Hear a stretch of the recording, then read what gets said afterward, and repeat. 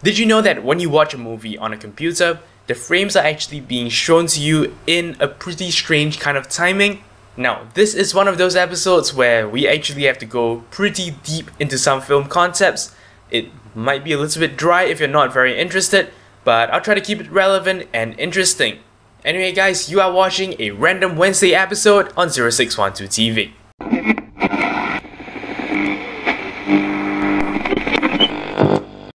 This is 0612 TV. Welcome aboard. Hello and welcome to another random Wednesday episode. So today we're actually going to take a look at concepts like pull down, things that, you know, have some sort of a historical meaning, but I'm going to try and make it as relevant as possible to, you know, what we experience today. So before we formally begin, let us actually clear up some terminology and concepts. Now, a video is essentially a whole bunch of pictures shown to you in quick succession. The speed in which these pictures are shown to you is called a frame rate, and a frame rate is measured by counting how many frames are shown to you per second. Now, monitors and screens show you video information by repeatedly refreshing the screen. Essentially, at every refresh, the screen is redrawn from top to bottom, and the refresh rate of a screen refers to how many refreshes it makes per second. So, these are all the important things we need to understand. So let us now move on to take a look at playing a movie on your computer. So here's the deal. Movies tend to be 24 frames per second. Obviously there are exceptions, but most of the lots are 24 frames per second. Your computer screens tend to have a refresh rate of 60 Hz. Similarly, there tend to be exceptions, but most of them are 60 Hz. So let us actually draw this out pictorially to make things easier to understand. Now, let's imagine this bar represents 1 second of real time. If your screen refreshes 60 times per second, then if we cut this bar into 60 pieces, every piece will refer to one particular refresh. To be precise, a refresh happens every time you see a vertical line. So okay, we have that. Now let's take a look at the same second, but now in terms of frames of the movie. Since there are 24 frames, we're gonna cut this bar up into 24 pieces. Do you see a problem yet? Now, take a look at what's happening here. Essentially, at the first frame, your screen refreshes. That's fine, it's gonna display the first frame of the movie. Then the next time your screen refreshes, it's still displaying the same frame. But the problem comes about here. Now, at this point of time, your movie is saying, okay, let us now replace the first frame with the second frame. However, your screen does not actually update, does not actually draw out the frame until a short interval later. And what that means is that frame shows up on your screen a little bit late. Okay, so this is what we're gonna do. We're gonna zoom out now, and I'm gonna color some of the refreshes to green. Every refresh colored green refers to a particular refresh in which a new frame is shown on screen.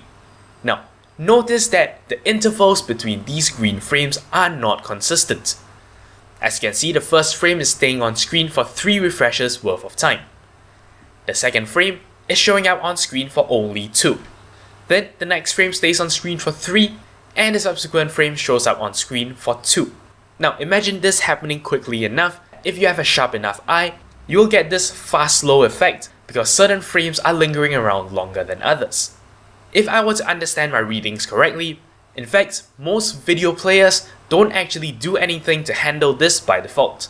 What this means is as things stand, movies tend to still be watchable despite this problem, and in fact, if you don't specially go and look out for it, you might not even notice this effect.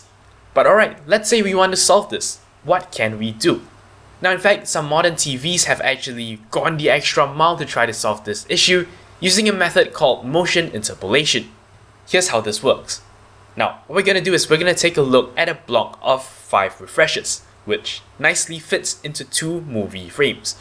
Now what they do is they only display the frames at basically the closest refresh. So essentially for the first refresh, they just have to show the first frame, and then for the subsequent frames, they will actually make use of these two frames to sort of guess what motion is happening between these two frames. For example, if the first frame has my hand here and the second frame has my hand here, essentially they'll try to look for this motion and they will generate the in-between frames that will look something like this and this and this. And then they'll display the lot And the idea is to fill in the missing frames by actually putting back the motion that wasn't there between the two different frames. This obviously has its good and bad. If the TV is actually unable to detect the motion, then things are going to look weird. And from time to time, what happens is artifacts tend to be generated. But this tends to be a little bit overkill, and the reason why I bring it up is just that, well, now you have an explanation of what your TV is doing. I also recommend turning it off. It sometimes ruins movies, it just doesn't make it feel, you know, like a movie. I'm not saying a high frame rate is bad, I'm just saying that, you know, those are fake frames anyway and tend to not add to the entertainment value of what you're watching. But anyway, I'm digressing. Let us actually go back to the topic of, well, trying to fix the problem of the frames not lining up. So I'm actually going to suggest a very simple idea to you. I cannot say for sure if this method is actually being used anywhere, but if you understand this, then you'll understand how it was actually properly done. So let's actually name our two movie frames A and B. Now, these two movie frames need to be shown over a duration of 5 refreshes. Now, for the first two refreshes, it's pretty trivial because, well, frame A is displayed for the first two refreshes, and frame B is displayed for the last two. Now, since this middle refresh actually lies between frame A and frame B, one way we can actually try to solve this problem is to actually blend frame A and frame B together and display both of these frames during that middle refresh. So essentially, earlier on we've looked at a method called frame interpolation, now we're looking at a method called frame blending. So these are the two ways you can actually smoothen the transition for this sort of issue. Now traditionally how is this done?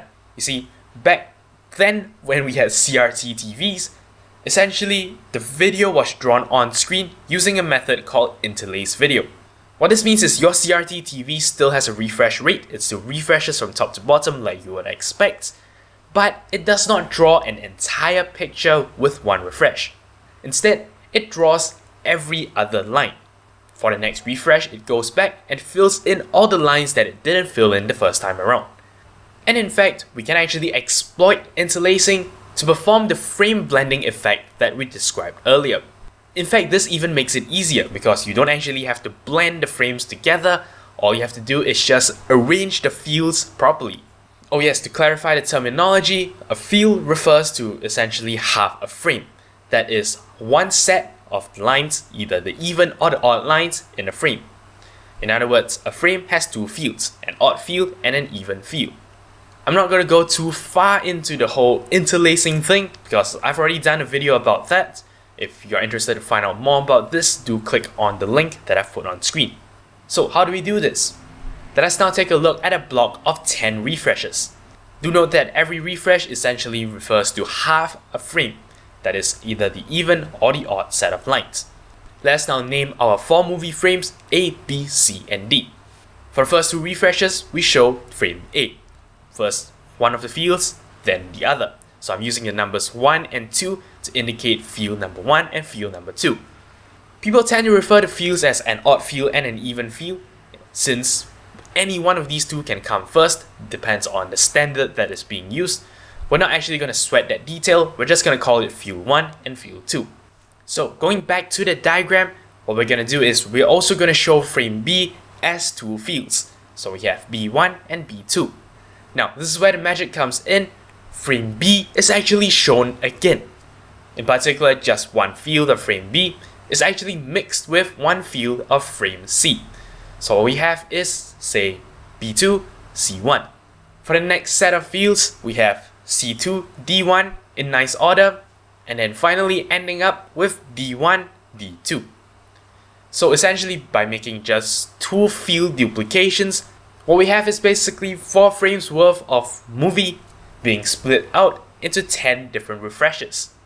This is your actual traditional 2-3 pull down that was actually used when converting movies to something that can be shown on TVs. And there you have it. That is how you actually show something with one frame rate on a screen capable of displaying a different frame rate. I'm sorry this video ran a little bit long and felt a little bit disorganized, but I certainly hope you learned something. Anyway, that pretty much wraps it up for this episode. Thank you very much for watching, and until next time, you're watching 0612 TV. hello, thanks so much for watching. I hope you enjoyed this video, and if you did, remember that I appreciate every like, favorite, and comment you give me.